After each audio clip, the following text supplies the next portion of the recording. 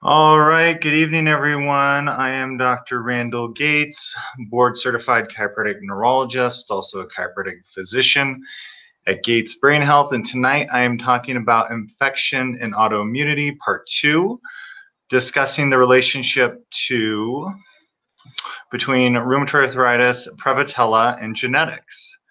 So hopefully this is of some help in the previous discussion. I talked about prevotella as well as Porphyromonas gingivalis. Porphyromonas gingivalis is a mouth bacteria that has been seen to be associated potentially with the specific autoimmune reaction seen in rheumatoid arthritis. So that was some pretty exciting information. And now I'm talking about a gut bacteria, Prevotella.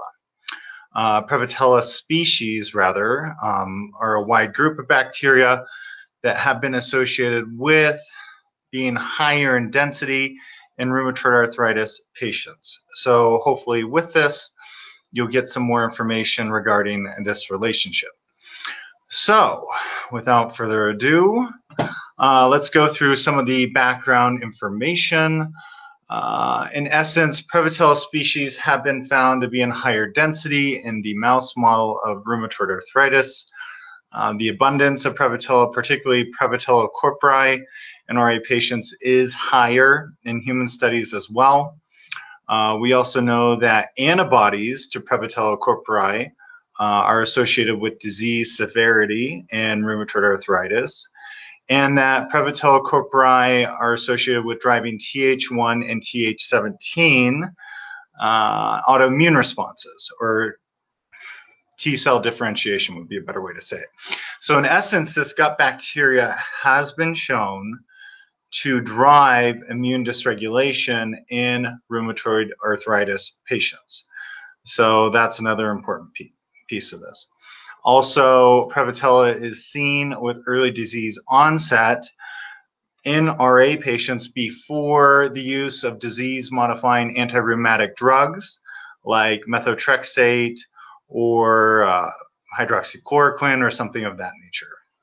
And hello to everyone who's joining. So that is what we know. Now, let me see here. I'm going to flip the screen. Okay. So this article out of Lancet Rheumatology is really exciting. It's exciting because they did a great study. Uh, they used a lot of really good data, some from the United Kingdom, some from Switzerland. They were using genetic sequencing technology from University of California, San Diego. Uh, they were sending samples to Cornell University. So it's a really nice collaborative study. And they were looking at associations between gut microbiota and genetic risk for rheumatoid arthritis in the absence of disease, a cross sectional study. So, in essence, what they were looking at is, or was, rheumatoid arthritis genetic risk, and does that genetic risk for rheumatoid arthritis affect the microbiota? So, again, as I mentioned in the prelude, we have all this information looking at um, these associations between higher densities of Prevotella and the mouse model of rheumatoid arthritis, we see it in RA patients. We see this bacteria driving potentially autoimmune responses. But now let's take a step back and say, okay, for those who are genetically susceptible for rheumatoid arthritis, do they have a difference in their gut bacteria than those who don't have this genetic predisposition? So um, let me see here. And the way they composed the study was of two different varieties. They they took twins from the United Kingdom, and these twins had no relationship to someone with rheumatoid arthritis.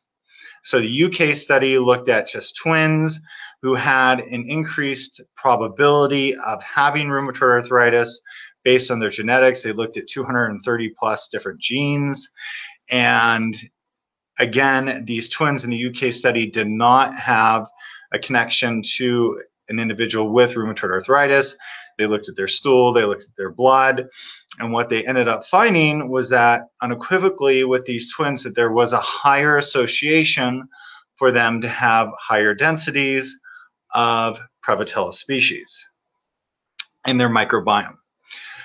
Then they also did a study in Switzerland called the Screen RA study. And these were twins, monozygotic twins, who had a first degree relative with rheumatoid arthritis. They excluded any one of these twins who had clinical rheumatoid arthritis. So basically, they have a first degree relative with RA, but uh, they themselves do not have rheumatoid arthritis. Again, they looked at their stool, they looked at their blood, they did all this genetic sequencing. Again, they found this preponderance of Prevotella species in their microbiome. So that is significant. Now, moving on, this is a diagram looking at the different characteristics between the different studies. This is the UK study.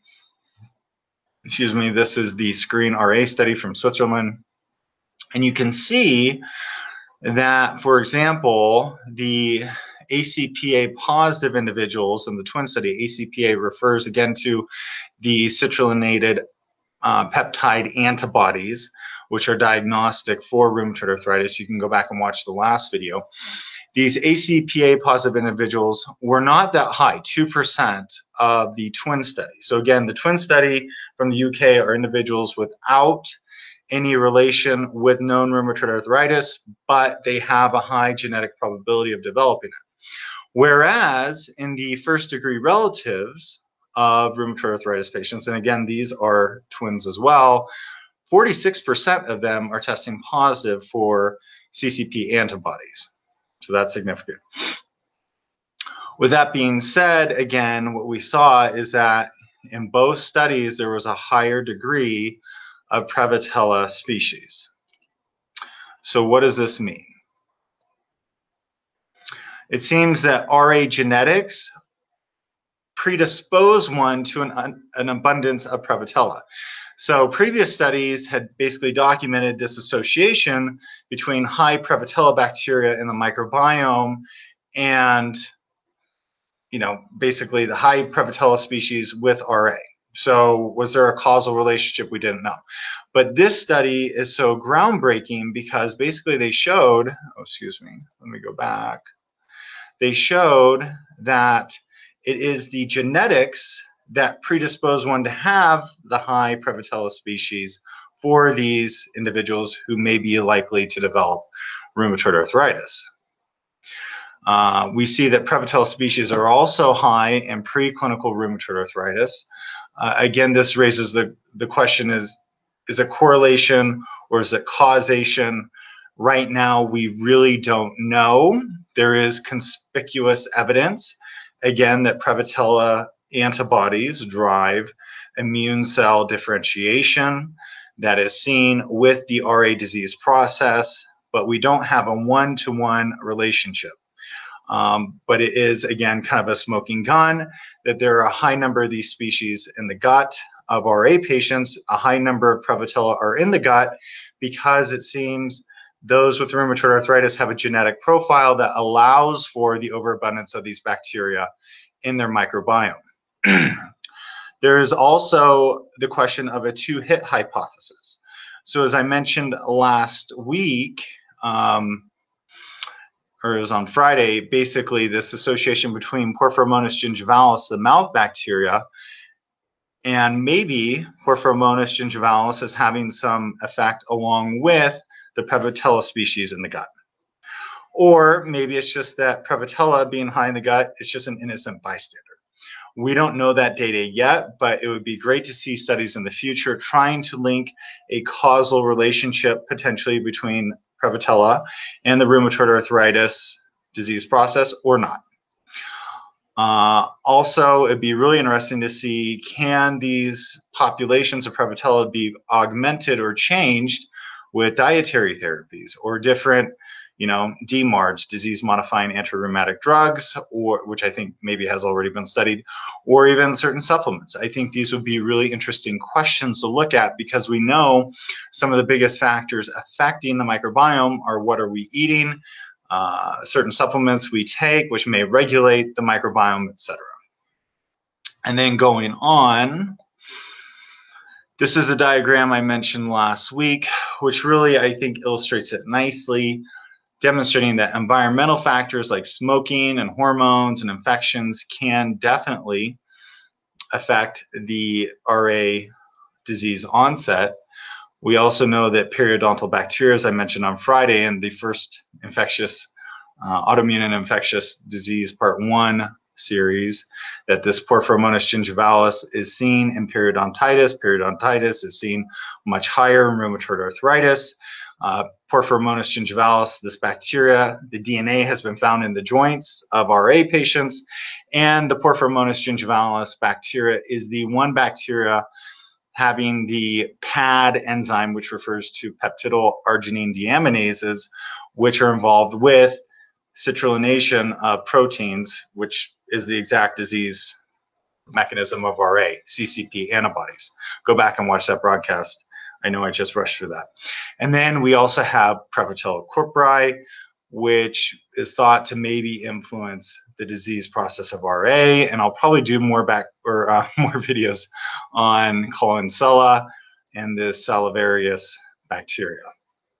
So hopefully uh, this makes some sense and send me your questions. Thank you all for joining. And let me see here. I don't think I can finish typing there. Let me say thank you for joining. And if you have any other information on this, send it to me. I'd be curious to know what your thoughts are. And I hope you all have a wonderful Monday evening. Okay, have a good night.